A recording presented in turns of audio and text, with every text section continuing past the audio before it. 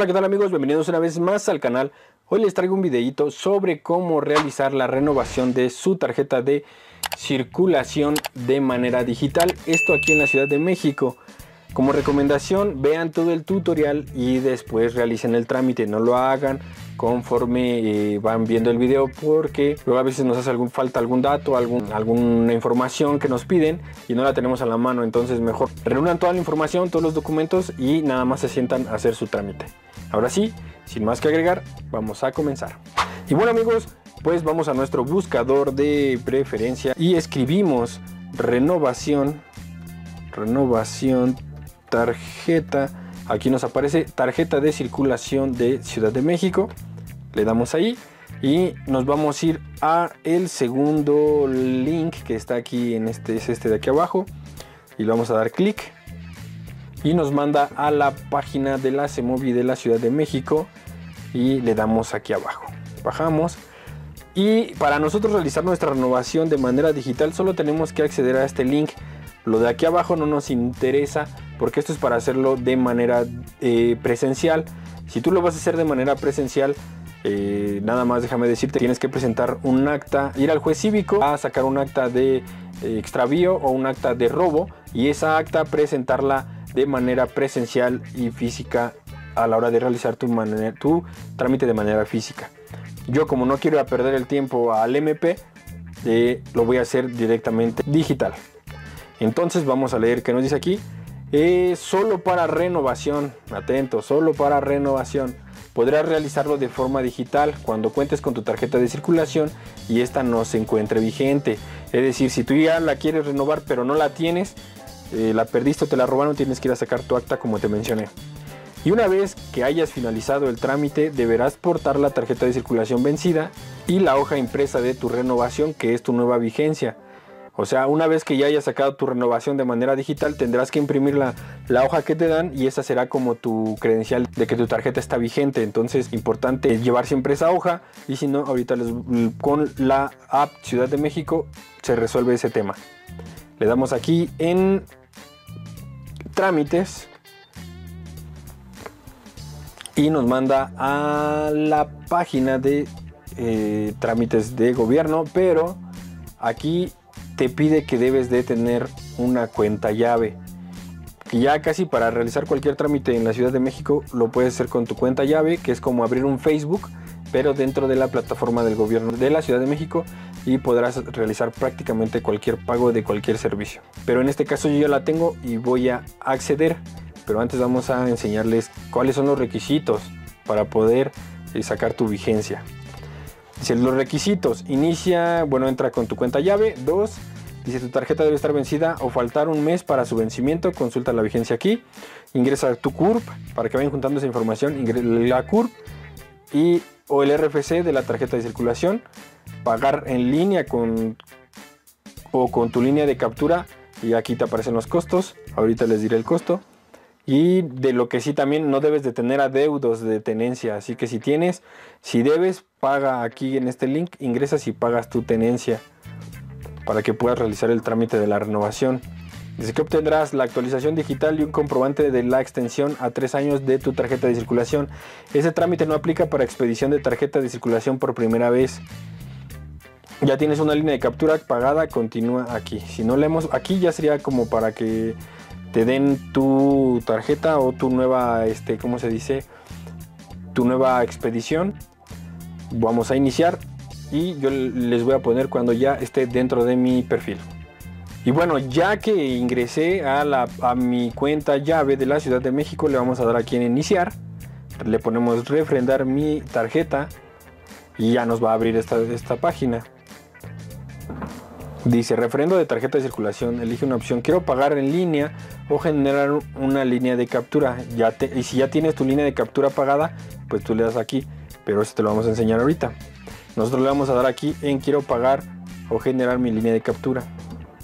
Le damos ahí y te va a pedir el número de placa y el RFC de tu tarjeta, no el tuyo. Si la tuya, si tu tarjeta de circulación está a nombre de alguien más, debes de meter ese CURP nosotros vamos a meter la de nuestro porque nosotros sí la tenemos a nuestro nombre. Voy a meter la información y continuamos.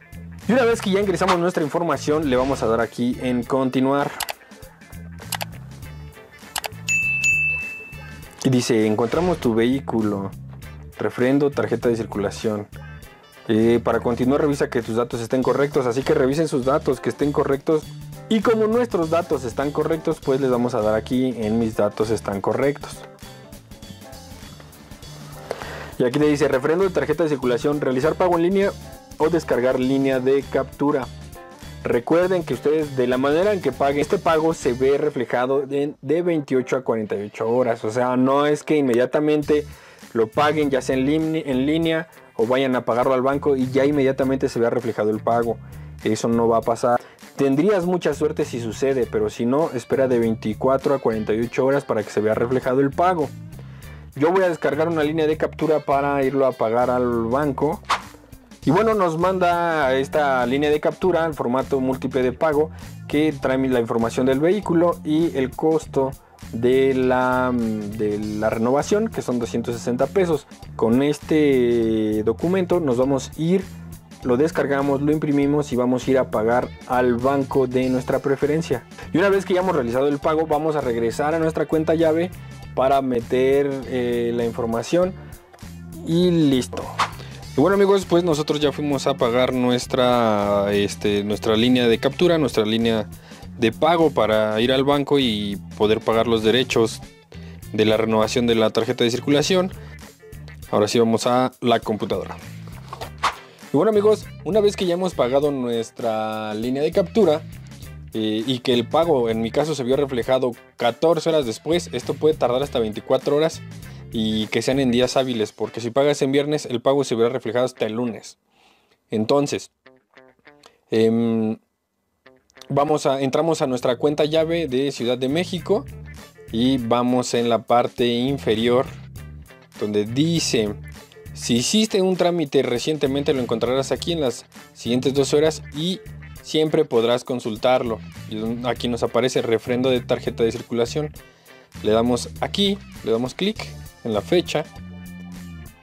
Y nos aparece refrendo de tarjeta de circulación, folio del trámite, aparecen los datos de mis datos y los de eh, la motocicleta.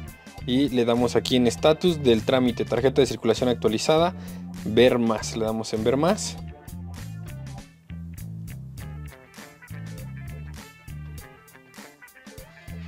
Y nos aparece refrendo exitoso de tu tarjeta de circulación. Siempre que lo necesites, tu comprobante de vigencia, bueno, ya le das aquí descargar el refrendo.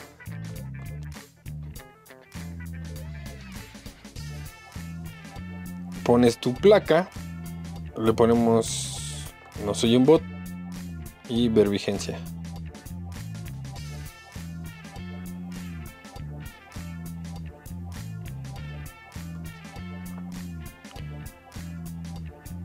Y aquí abajo nos, aparece comprobante. Bueno, vamos a descargarlo para que aparezca.